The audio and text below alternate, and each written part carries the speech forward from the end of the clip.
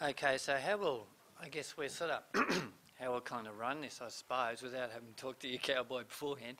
Um, it's I'll just sort of run through and try to do a bit of crystal ball gazing, which I'm usually better in hindsight than I am the other way.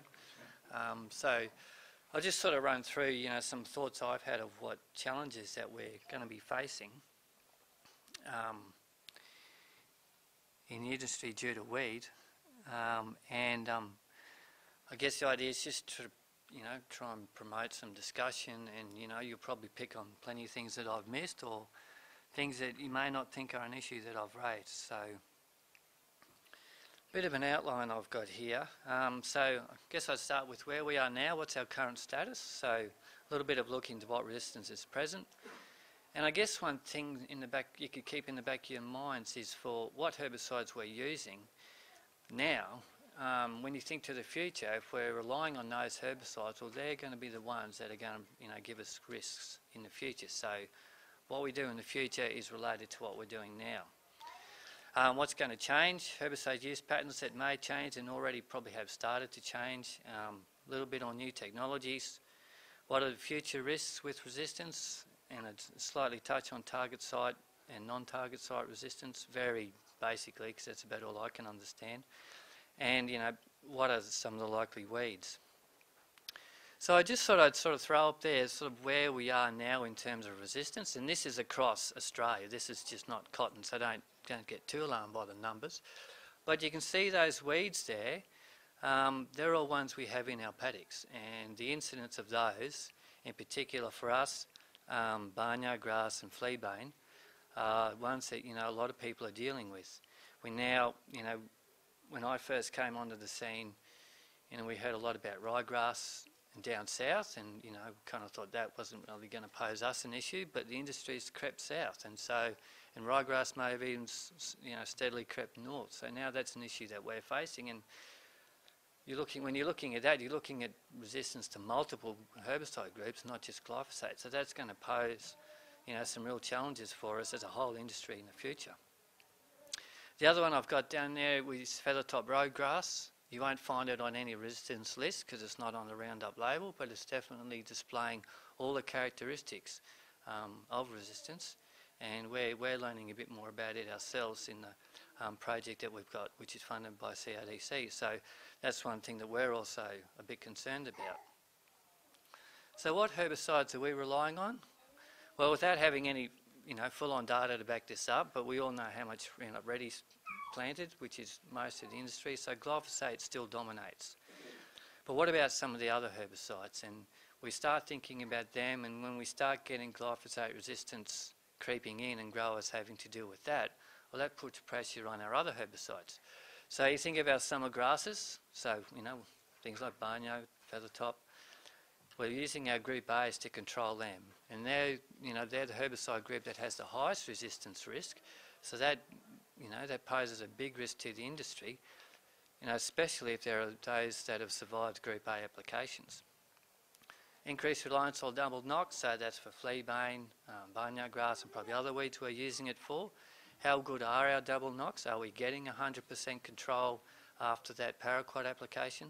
So, you know, I guess amongst the research is that resistance to paraquat, or, you know, slash spray seed, is it something we are slightly concerned about?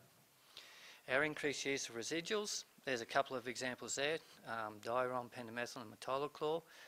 You know, we, we all know they're, they're pretty hard to use to get consistent control and if you get poor control, sometimes it's hard to identify why. Mostly it's going to be application, rainfall, some other factor, but to pick up a resistance issue is often a bit harder than it can be for a post-emergent herbicide. And then are we managing our escapes?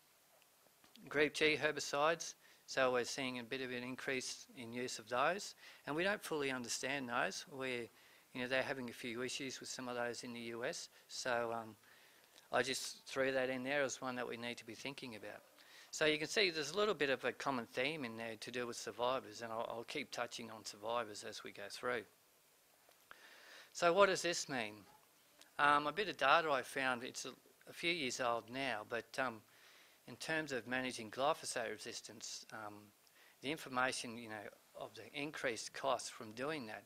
It did range, I've got to say, from like zero to over, I think over hundred dollars, and there's, you know quite a number of different um, you know numbers within that. But you know, on a pretty rough average, you know, you could probably say sixty to eighty dollars per hectare that some growers are facing. So some growers are facing none, some growers are facing more as that additional cost. What I haven't factored in there is the additional cost for labour. So weed management strategies, you know, are probably looking to be um, a bit more intensive. So more time, time to ensure we get effective applications, time to monitor, to go through the paddocks to look for survivors, and then time to control those survivors. I haven't put up there time to manage our chan channels um, and fence lines. One of the main messages that I got from the US with what they were facing over there was, you know, there was a few growers who were telling us that they either had to increase capacity, um, they had to, you know, run more spray rigs, they had to probably reduce the amount of cotton they had so they could manage it, or they had to just change crops because it was too hard to deal with their Palmer amaranth um, with their system. So they had to go, you know, either get right out or scale right down. So it's not going to happen here, hopefully, but that's some of the things that they're going through. We're starting to see residuals used a bit more in fallow, and you know we are sort of faced with labour limitations on that. What residuals do we actually have that are registered for actual fallow use rather than pre-crop use? What's going to change? Well, I guess steadily more of the same. We're looking at you know controlling grass herbicides and know, controlling fleabane, so more pressure on the, the group A herbicides, the phenoxys, so your group I's and your group G herbicides. More pressure on uh, the pre-emergent herbicides, you know, your pendimethalin, your triazines, um, and your metolachlor, and more pressure on paraquat. And so what we're seeing when we're starting to have to manage some of these weeds in the fallows, in the summer fallows, that some of the herbicides that we're using in the crops can be similar to what we're using in the fallows to try and get on top of that. So that does put a bit of pressure on our herbicide rotation when we're relying on herbicides.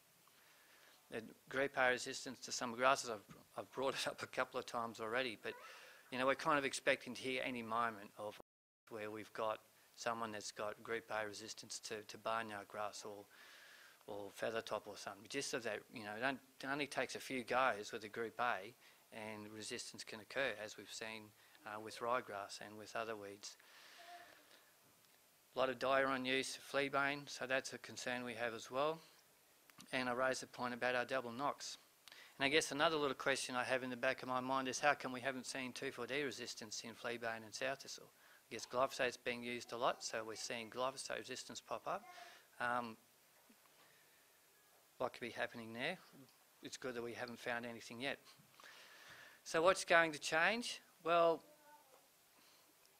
when we start thinking about some of the new traits coming in or likely to come in, so we've got glufosinate um, and dicamba, which is some of the ones that we've, we've probably talked mostly about.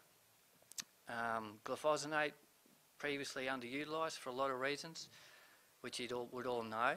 Um, once we get it in a crop, um, and it can be widely, you know, it's widely planted to have that trait, it gives us potential, you know, to use that herbicide more. So there's there's potential benefits there on, you know, some of the harder to control weeds, um, probably the vines, um, and to use. I'm looking at, you know, using it as a double knock. So we can use a double knock in in crop um, as an alternative to using paraquat. The other one is dicamba. Um, you know, it's been used mainly in winter cereals. You know, there's been a little bit of summer fallow use, but it hasn't been, you know, it's pretty hasn't been used a lot, so that's good. But I guess what we don't really understand is um, previous group I use, like 2,4-D or picloram or, you know, some of that. You know, is there any chance for that to confer a cross resistance to dicamba? It's, it's probably very small, but things like that can happen. So, you know, there are obvious benefits there for broadleaf wheats with that technology. With the grasses, it's probably a bit more limited in terms of those.